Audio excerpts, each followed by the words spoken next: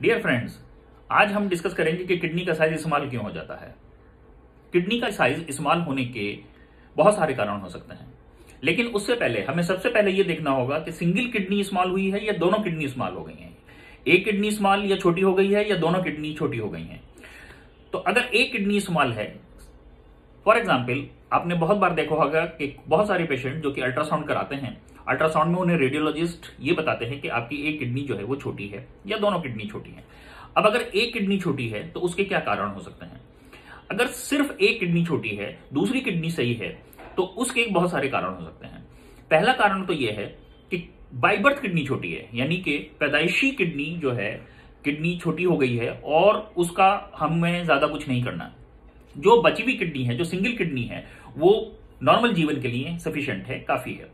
लेकिन अगर किडनी किसी कारण की वजह से छोटी हो रही है तो हमें यह देखना होगा कि हम उसे रिवर्स कर सकते हैं फ़ंक्शन को किडनी के या नहीं। उसकी रिवर्सिबिलिटी देखनी होगी हमें। तो उसके लिए जो मुख्यतः कारण है, वो पहला कारण है ऑब्स्ट्रक्शन मान लीजिए किडनी के रास्ते में जो पूरी यूरिनरी ट्रैक्ट है, किडनी, यूरेटर, ब्लेडर, ये पूरी यूरिनरी ट्रैक्ट है, अगर इस रास्ते में कहीं कोई ऑब्स्ट्रक्शन है, अब ऑब्स्ट्रक्शन क्या हो सकता है? वो ऑब्स्ट्रक्शन स्टोन की वजह से हो सकता है। बहुत दिनों तक स्टोन पड़ा है, हमने कोई केयर ही नहीं की और वो स्टोन जो है, बहुत दिनों तक ऑब्स्ट्रक्टिव स्टोन पड़ा रहा, उसने किडनी छोटी कर दी।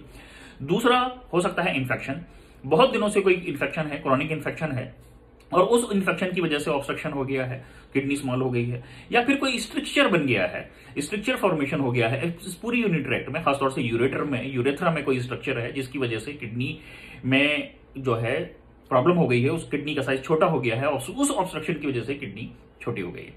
इसके अलावा किडनी की ब्लड सप्लाई अगर किडनी की ब्लड सप्लाई किसी वजह से कम है तो फिर किडनी का साइज़ छोटा हो जाएगा, और हमें फिर उस ब्लड सप्लाई को रीस्टोर करके ये कोशिश करनी होगी कि किडनी का जो फ़ंक्शन है उसे हम रिवर्स कर सकें। सो so, ये है सिंगल किडनी खराब होने के कुछ कारण। लेकिन अगर मान लीजिए दोनों किडनी का साइज़ छोटा हो रहा है यूजली जो साइज़ होता है किडनी का वो 9 से 12 सेंटीमीटर के आस के आसपास जो है वो नॉर्मल साइज़ होता है लेंथ जो किडनी की होती है।